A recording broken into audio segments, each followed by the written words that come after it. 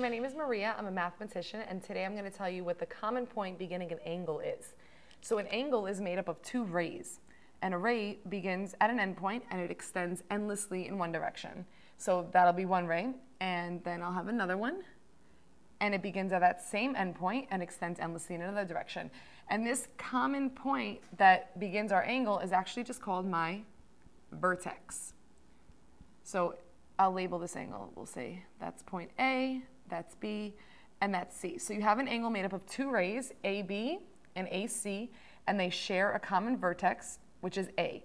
And the vertex is important because that's how you label the angle. So this angle right here would either be called just angle A, or if you wanted to name it completely, we would say angle BAC. So you just have to make sure that your vertex is always in the middle when you're naming your angle. And the third way we can label this is CAB.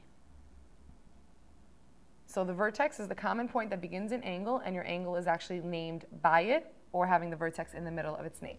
My name is Marija, and I just showed you what the common point beginning an angle is.